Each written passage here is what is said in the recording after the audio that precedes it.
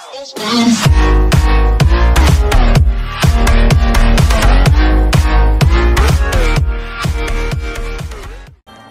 guys, welcome back to another video. In this video, we will be playing Pet Simulator X, but we won't just be playing it. We'll be trying to find the Santa cottage. It's not that hard to find, and it's absolutely free to enter. Let's head in there. Let's head to there.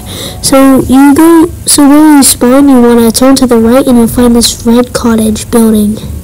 Well, Santa's cottage.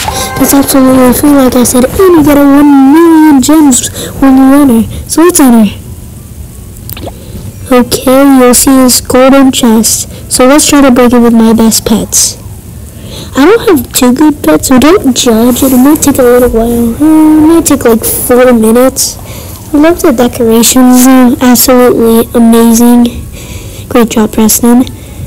And uh, like how those two elves are sitting down, like near the fireplace. It took a little to break, so Okay, it's about to be broken.